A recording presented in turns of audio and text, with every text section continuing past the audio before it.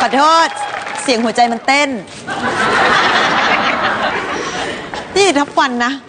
บ้าไปใหญ่แล้วฉันเนี่ยจะบ้าหรือเปล่าเนี่ย คือจะบอกนะคะว่าไม่ว่าจะเล็กหรือว่าใหญ่นะคะ คุณจงภูมิใจในสิ่งที่ตนมีนะคะ สาวอกเล็กก็ไม่ใช่ว่าคุณจะต้องมาเก๊กซิมเสมอไปนะคะ สาวอกใหญ่หลาย ๆ คนก็อิจฉาพวกเรานะคะคุณวันนี้ก่อนที่คุณจะคิดไปทำนมนะคะ ดิฉันจะบอกข้อดีของสาวอกเล็กให้คุณได้ฟังก่อน ข้อดีของสาวอกเล็กหนึ่งผู้ชายนะ ถ้าเขาจะมองแสดงว่าเราสวยจริงอะถูกไหมเขาไม่ได้มองที่เรา เขาต้องมองเลยมาหน้าเรา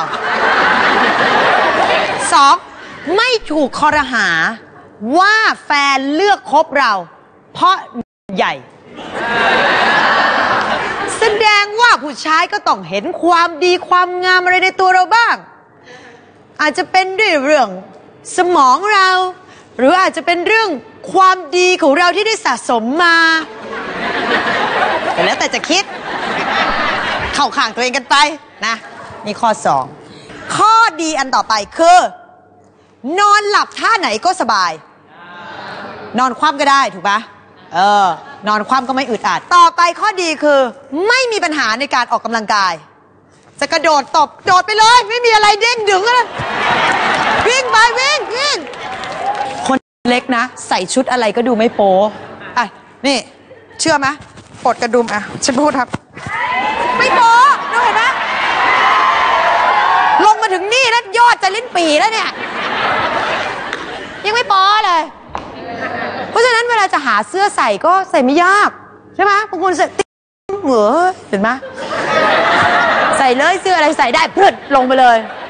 และที่สำคัญนะ คนเล็กก็จะไม่ดูแบบอ้วนเถอะทะนึกออกไหมเวลาใหญ่มันจะดูแบบทุกอย่างใหญ่หมดอะเออดูแบบอ้วนอะดูอ้วนเพราะฉะนั้นดูดูนางแบบนางแบบนะนางแบบพร้อมเพรียว แต่ดิฉันบอกผู้ชายตรงนี้เลยนะ ที่ดูอยู่ตรงนี้นะ อย่าคิดว่าผู้หญิงไม่รู้เวลาคุณมองเขานะ เคยไหมคุยกับผู้ชายอะตาไม่อยู่ที่ตาเราอะเออ สบายดีฮะอ๋อเหรอเอออย่างเงี้ยแล้วพยายามบังคับลูกตา เออ แล้วลูกตาเป็นอะไรที่แบบซื่อสัตย์สุดๆอะคือมันมองกันอยู่แล้วมันมีแบบ รู้อะ เข้าใจปะทำก็ทำให้เนียนนิดนึง มีศิลปะนิดนึง เพราะฉะนั้นเข้าใจแล้วใช่ไหมพวกผู้ชายใส่แว่นตาดำอะใส่ทำไม